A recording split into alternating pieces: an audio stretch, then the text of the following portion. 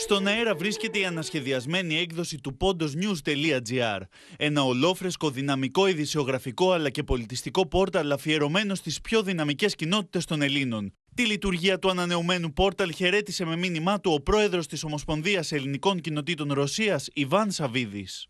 Εδώ και έξι χρόνια το Portal Pontos News επιτελεί πολύ σημαντικό έργο. Με σοβαρότητα και συνέπεια καλύπτει σημαντικά ζητήματα του ποντιακού ελληνισμού, της ιστορίας μας, της τρέχουσας δραστηριότητας των ποντιακών συλλόγων, των προγραμμάτων στον τομέα του πολιτισμού και της εκπαίδευσης. Χαίρομαι που δεν σταματάτε, δείχνοντας επιθυμία για συνεχή βελτίωση.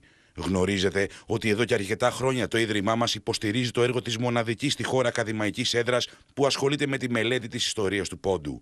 Είμαι ευγνώμων στο portal pontosnews.gr για τη στενή συνεργασία στην κάλυψη της δραστηριότητας της έδρας και του Κέντρου Ποντιακών Ερευνών του Αριστοτελείου Πανεπιστημίου.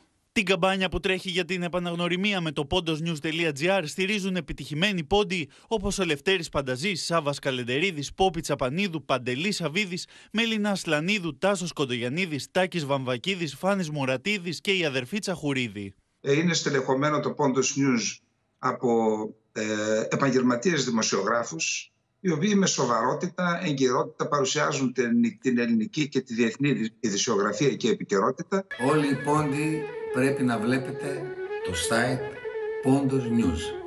Να ενημερώνεστε. Αργιατατό pondosnews.gr Καλοτάξει εδώ να είναι. Οι δημιουργοί του πόρταλ προσφέρουν στο κοινό μια ζωντανή και πλούσια κυκλοπαίδεια για τις μνήμες, τις παραδόσεις και την ιστορία του πόντου και όχι μόνο.